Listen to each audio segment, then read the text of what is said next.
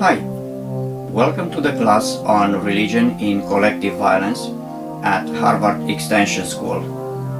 My name is Marian Simion and I am a postdoctoral fellow at Harvard Divinity School.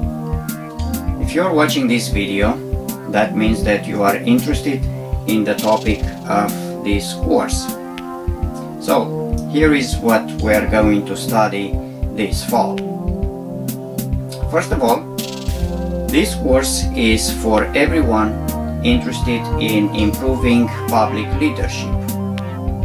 If you study government, this course will help you understand both the fundamental principles on which religion operates, as well as the way in which religion can become either a liability or an asset to the public manager in general.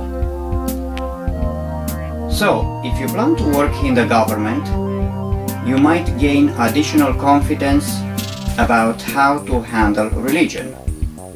If you are a student of religion, or if you work for a church or for a faith-based organization working on conflict resolution, in this course you will learn how to approach the main players and how to communicate with them in a win-win fashion.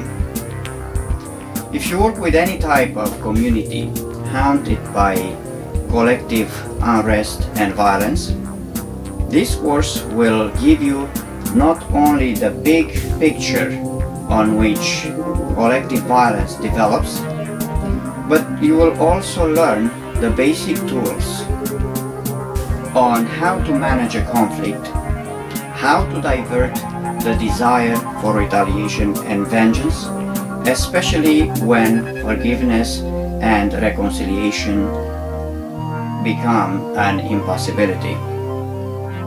Please read the syllabus carefully where I explain what we are going to be focusing on in each session. And if you have a question, please do send me an email. My email address is simion at bc.edu. Hoping that this is what you are interested to study at Harvard, I will be looking forward to see you in the class.